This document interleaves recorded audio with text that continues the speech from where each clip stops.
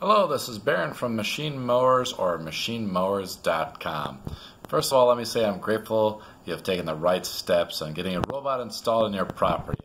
And I'm glad you are making life easier by using our robots to handle some of your lawn care maintenance.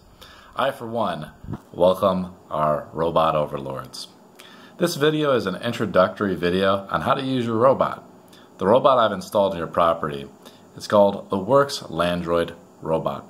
But before we get started, we went through your property and buried boundary wire or guide wire to assist our little robot friend on telling him where to go and how to return back to his docking station.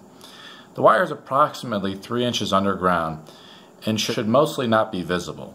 The boundary wire that is visible is more likely to get cut or broken, like when you rake leaves, and then we're going to have to come out there and splice those wires back together for you. So if you get any landscaping work done, that will overlap the areas where the boundary wire is, you should let us know so we can either mark the boundary wire or adjust the boundary wire as needed. Now that you have a robot installed in your property, it rests or recharges in something called a docking station. During the winter months, we will take the robot and the docking station with us to safely store it away, as well as do some maintenance on our little robot buddy.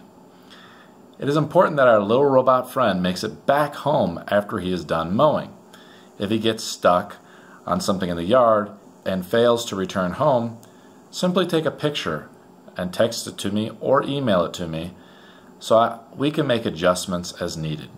Our little robot can only go up about 2 inch lips, so debris like twigs, hills, or dog toys, it can get, it, it can get stuck on those. And it might not be able to return back home some dips in your yard that we miss, and maybe you don't even know about, might have to be filled in with some dirt.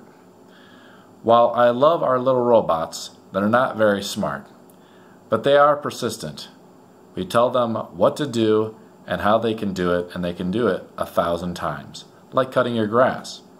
So our goal over the first few weeks is have to have them leave the docking station and return safely back home to rest and recharge its lithium ion battery.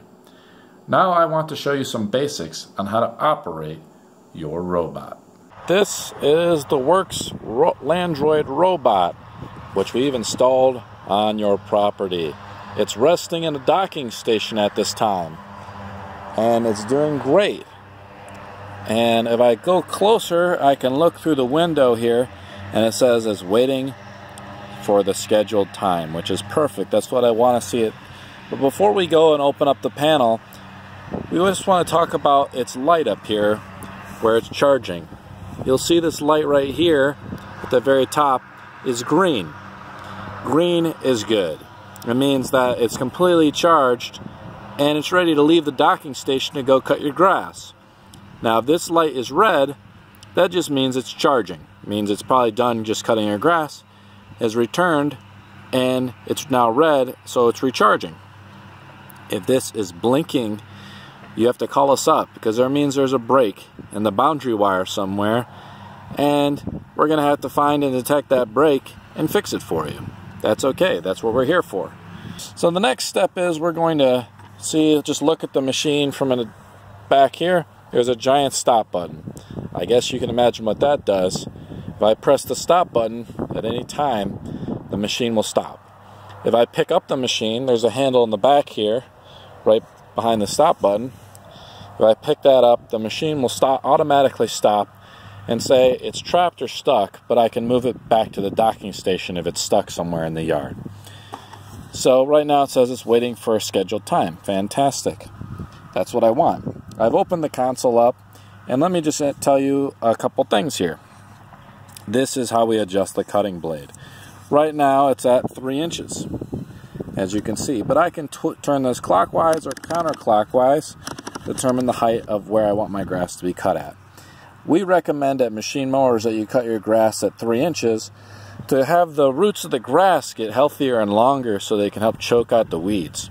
But if you really want to, you can lower it down by turning this to two and a half if you want. See there, I set it at two and a half. I'm going to adjust it back to three inches. There we go.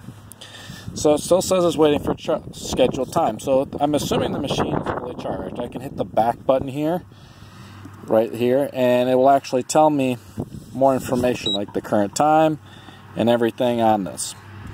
And it says the next time it's going to cut the grass is at 1500 hours, which is 3 o'clock. And your machine, most of the machines I send out at 12 o'clock. And they go out for about a few hours to try to cut your grass. Okay, great. So the first thing we do, if the console's not lit up, I want to power it on and power, power it on so I see something. To power it on and power off my little machine, I just hold this power button down. There it says it's goodbye, I'm powering it down. So if I go out on vacation, it's okay if you leave it on when you go out on vacation, but if you don't want to, that's okay. So I power it back up, and I'm just gonna enter my pin. I'm just gonna go away here so you can't see my pin. There we go, I've entered my pin, and now we're doing it. Now it says it's charging and waiting for start time. The battery is at 88%, which is fine. That's healthy enough for our machine to say, hey, I'm fully rested and I want to go out and cut your grass. If I want to start the machine at any time, I can just hit the start button, close the panel, which I'll do right now and show you. So I hit start, it says um, close the window to start, and I could just close this panel here and it'll start cutting the grass, okay? So if you find your machine in the yard and it says, hey, I'm stuck, right? Well, you might want to try to carry it back. So you might say press zero to reset. So I press zero. It just takes me back to the menu. No big deal.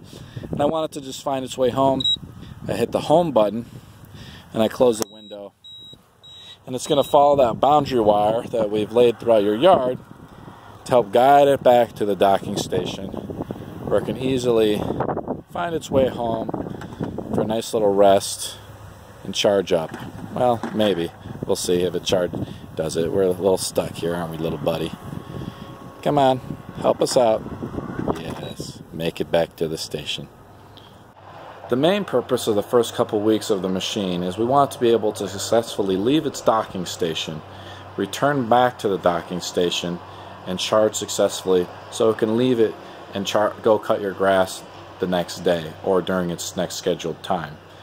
If it ends up getting stuck in your yard simply just take a picture and email it to me at contact at machinemowers.com or text it to me if you have my number, which is 402-209-2482. And we're going to try to make tweaks to the boundary wire and tweaks to the system during the typically the first couple weeks. If you notice your grass is getting uneven, also let us know. Um, we can try to send it out or make adjustments to make sure your grass gets even, especially if you have, if you have a larger yard for this particular machine. Thanks for watching this video. If you have any questions, feel free to contact me at contact at machinemowers.com and welcome to lawn care maintenance in the 21st century. Thanks a lot.